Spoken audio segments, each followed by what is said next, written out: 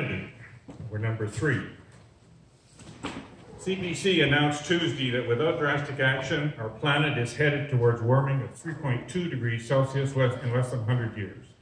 Kitchener-Waterloo City Councils have unanimously declared a climate emergency to highlight the need to take strong action. The development of a climate action plan will be critical. This is an all-encompassing term that will lead to action from the city. Declaring the climate emergency does not cost anything, but meeting the goal does. We propose that Trinity United Church undertake a project to challenge the cities of Kitchener and Waterloo to address in a meaningful way their declaration of climate crisis. Trinity will fund those two cities with $100,000, and the city has to match it.